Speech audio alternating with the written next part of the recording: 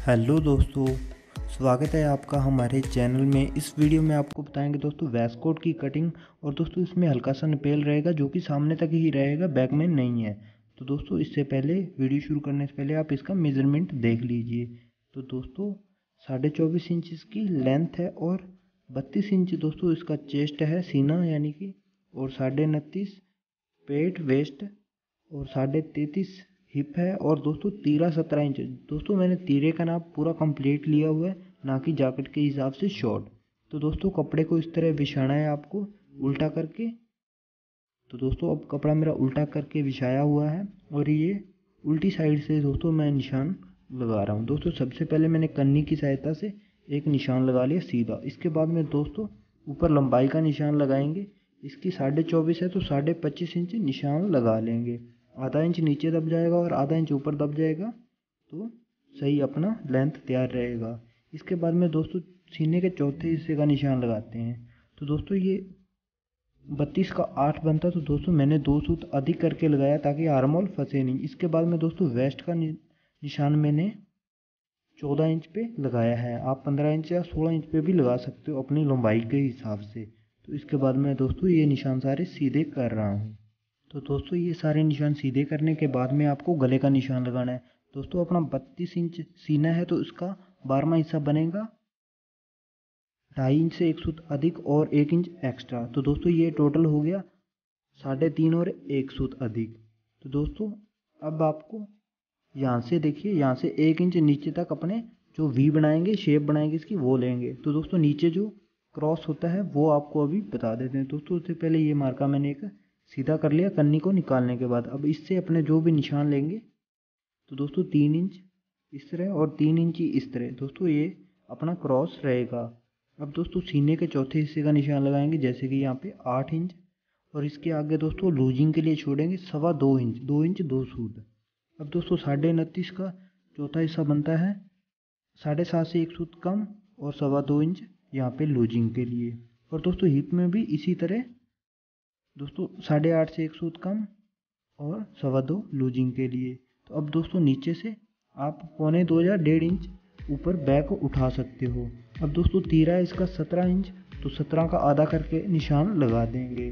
जैसे कि ये साढ़े आठ पे निशान मैंने कर दिया। तो दोस्तों, ये अपने मार्के लग चुके हैं। अब इसको देखिए, क्या करेंगे अपने? इस तरह से शेप फट्टी रखेंगे और इस तरह शेप कर लेंगे। दोस्तों, इस तरह से आप शेप कीजिएगा। इस तरह से। अब दोस्तों, इसको इस तरह घुमा के ये मिला लें यहाँ पे। अब दोस्तों, नीचे से इस तरह से आप जो इसकी क्रॉस बन रही है वी बन रही है, जो शेप है जैकेट की, वो बना लें आप इस तरह से शेप पट्टी से। तो दोस्तों, ये देख सकते हो, कितना अच्छा निशान लगा हुआ है। अब दोस्तों, एक इंच से सवा इंच आप अंदर की ओर निशान लगाएँ।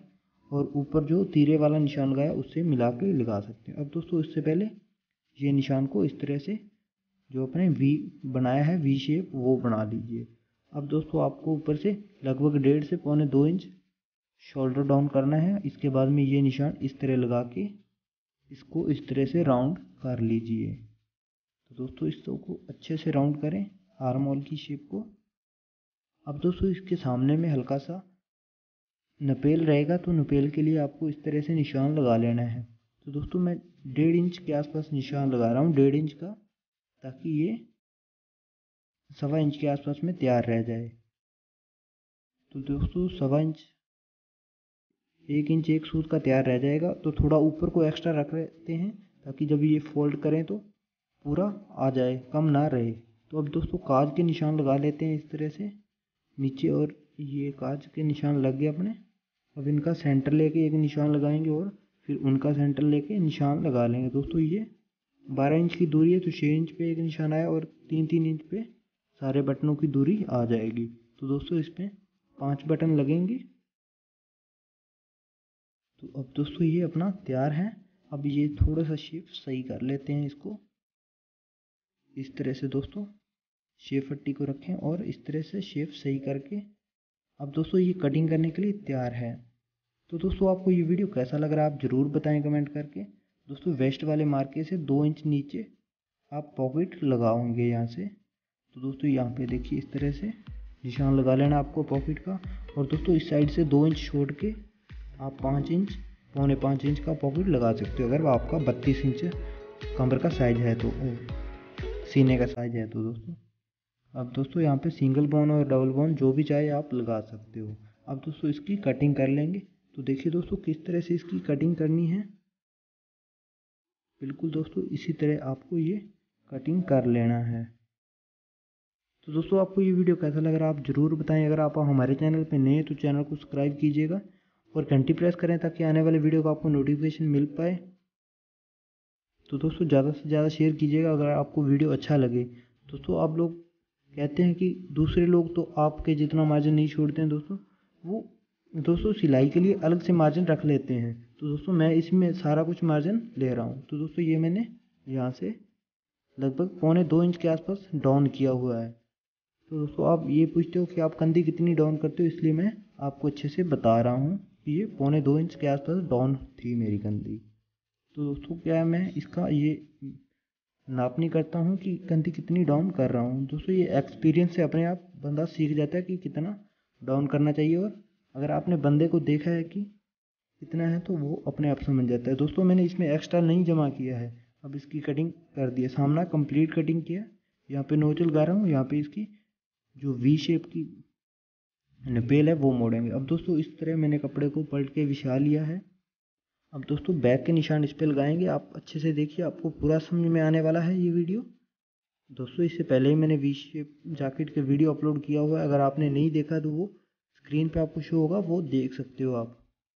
तो दोस्तों, सबसे पहले नीचे आपको एक निशान सीधा करना है। उसके बाद में दोस्तों, आप जितना मार्जिन रखना चाहते हो, उतना रख सकते हो। तो दोस्तों, मैंने लगभग डेढ़ इंच के आसपास मार्जिन रख लिया।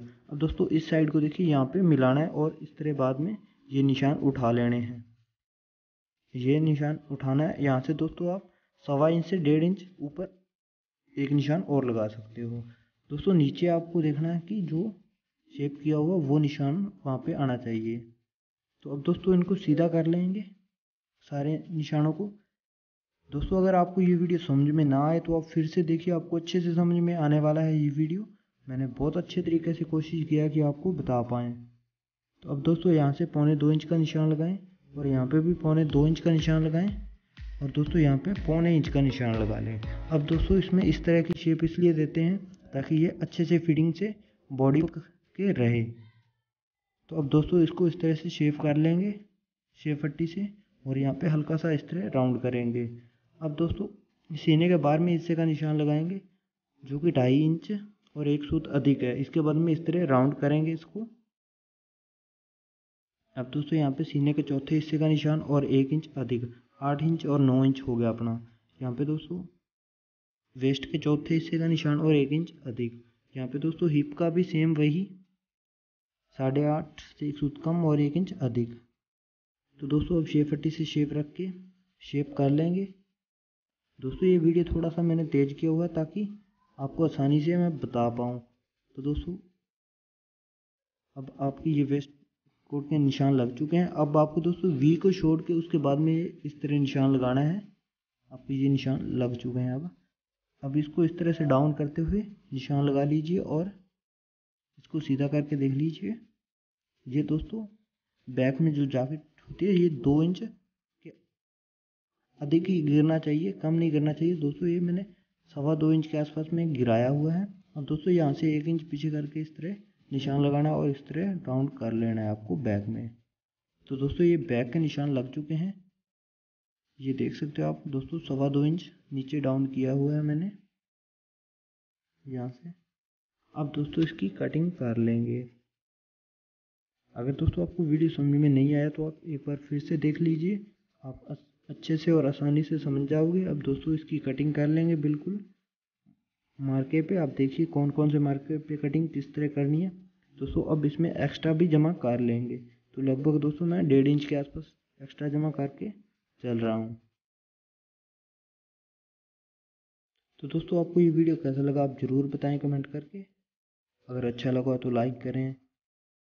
चैनल पे नए हैं तो चैनल को सब्सक्राइब कर लीजिएगा।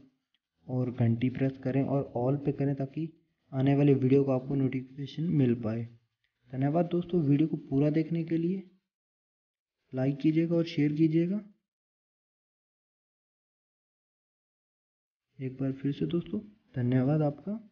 जो स्क्रीन पे वीडियो शो हो रहे हैं, आप इनमें से कोई भी देख सकते हो। आप पे बहुत काम के वीडियो रहेंगे सारे ही।